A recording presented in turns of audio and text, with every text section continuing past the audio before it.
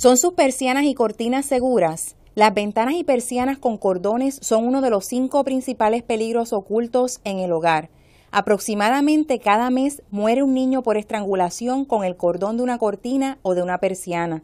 La CPSC ha retirado del mercado millones de estos productos en los últimos años.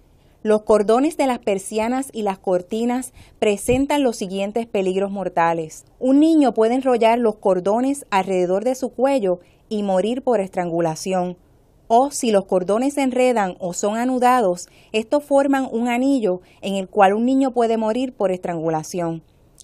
El cuello del niño puede enredarse en un cordón de cuentas o de nilón en forma de anillo que cuelgue libremente.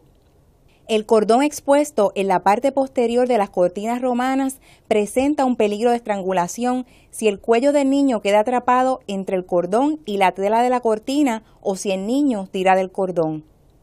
En las persianas enrollables, las muertes por estrangulación pueden ocurrir si el cuello del niño queda atrapado entre el cordón usado para levantar la persiana y el material de la persiana o si el cordón usado para levantar la persiana cuelga libremente y el cuello del niño se enreda en este.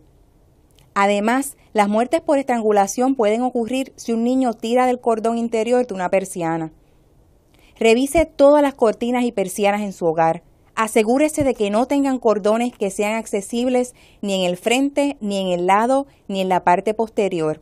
La CPSC recomienda el uso de cortinas y persianas sin cordones en todos los hogares donde vivan niños o sean visitados por niños. Para más información, visite www.cpsc.gov.